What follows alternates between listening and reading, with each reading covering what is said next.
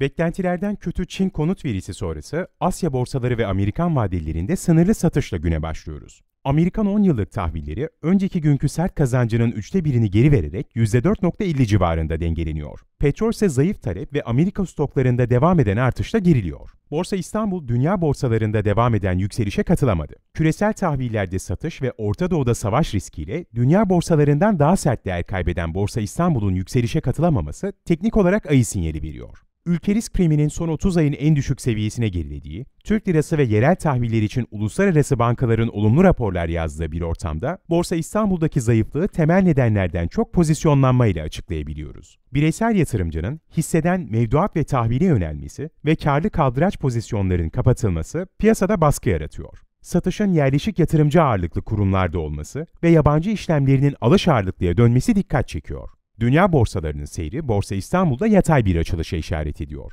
İyi haberlerin satış için fırsat olarak kullanılması nedeniyle yatırımcıların temkinli davranmasını bekliyoruz. Endeks için destek ve direnç seviyeleri 7400 ve 7750. Migros'un CRC'yi satın alması haberine daha önce fiyatlandığı için nötr bir tepki bekliyoruz. Teknik olarak öne çıkardığımız hisseler BİM, Emlak GEO, Türk Hava Yolları, Sabancı Holding ve Yapı Kredi.